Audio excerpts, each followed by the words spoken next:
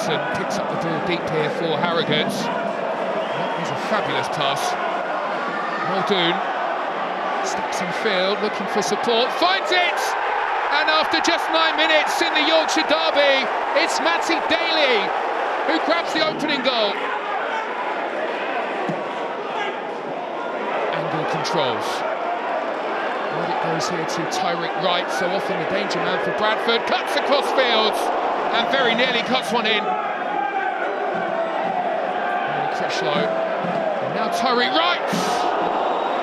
Good deflection takes it wide. On the break again here, Harrogate into the area, looking for two. It's Danny Grant with a fabulous chance. Patterson from the free kick. So nearly finds a way through. Building again, chance after chance, relentless pressure.